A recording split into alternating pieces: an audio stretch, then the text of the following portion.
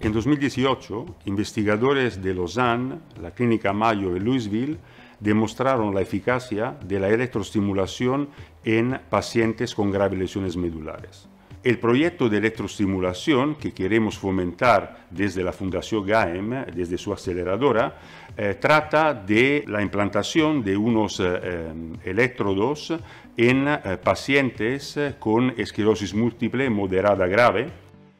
que tienen que moverse en silla de ruedas.